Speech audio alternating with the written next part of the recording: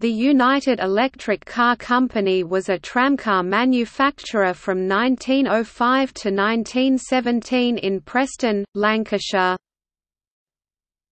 Topic history The Electric Railway and Tramway Carriage Works was formed in 1897 registered on 25 April 1898 to acquire works at Preston, Lancashire.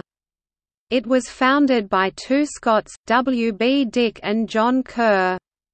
They formed a new company, English Electrical Manufacturing based in a new West Works on Strand Road, Preston in 1900, to build the electric motors for their trams. In 1905 the Electric Railway and Tramway Carriage Works took over two other works, including G.F.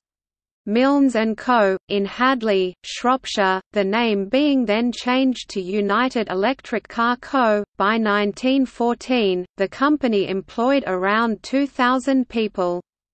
They produced electrical equipment for tramways and railways and built over 8,000 tramcars, for service in the UK and abroad, including to the Buenos Aires tramways operated by the Anglo-Argentine Tramways Company. Tram 49 is operated by the Black Country Living Museum. This double-decker tram was originally built in 1909 for Wolverhampton Corporation Tramways. It is a typical Edwardian tramcar with an ornate lower saloon and open upper deck with traverse seating. Originally equipped with the Lorain system taking its power supply from studs in the road, it was later converted to run from overhead wires. Preserved in 1976, the tram was painstakingly restored by the Black Country Museum Transport Group over many years and completed in 2004. Topic merger In 1917 Dick, Kerr & Co., also in Strand Road, Preston, acquired the United Electric Car Co. and in 1918 the company became a part of English Electric.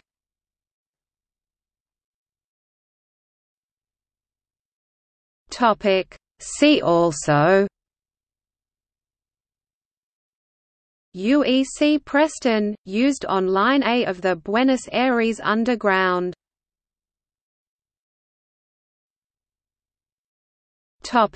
Archives and records United Electric Car Company photographs at Baker Library Special Collections, Harvard Business School